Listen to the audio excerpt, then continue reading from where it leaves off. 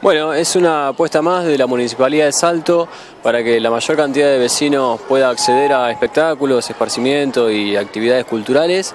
Esta vez, hoy estamos en la Peña de Boca, que ha abierto sus puertas eh, en, el espacio de merendero eh, para dar lugar al espectáculo de Nico Damonte con la entrada por supuesto libre y gratuita. En el marco de, bueno, de las vacaciones de invierno también estuvimos recorriendo los comedores municipales.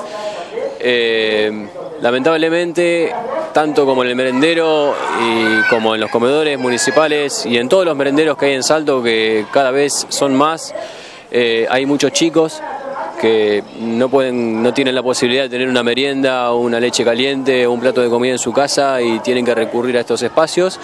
Eh, desde ya agradecer la mano solidaria de la gente de la Peña de Boca, Aquí están algunos de sus representantes que hacen este gran esfuerzo, porque es un gran esfuerzo que requiere de mucho trabajo para poder llevar adelante este emprendimiento. Mi percepción es feliz porque por contar con la municipalidad, con la Dirección de Cultura, les agradezco un montón para brindarle a los chicos del merendero un espectáculo en sus vacaciones.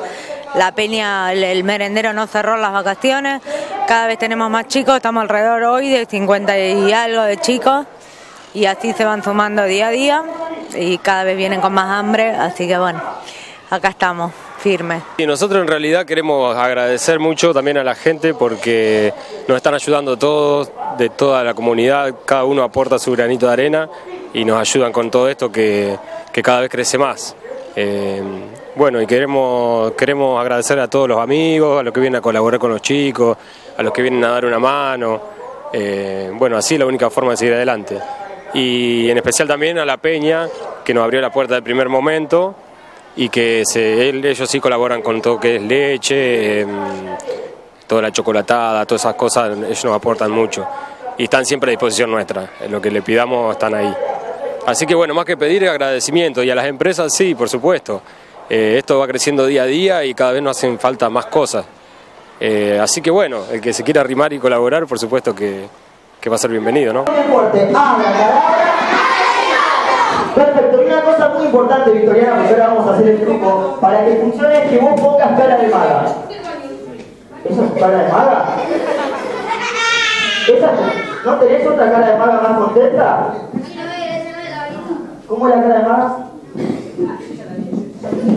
Victoriana, escúchame, mete la mano, saca el pañuelo que es un traje, un pañuelo blanco con lunares negros que te van a pedir que se lo muestres a todos. Sí, abrirlo así.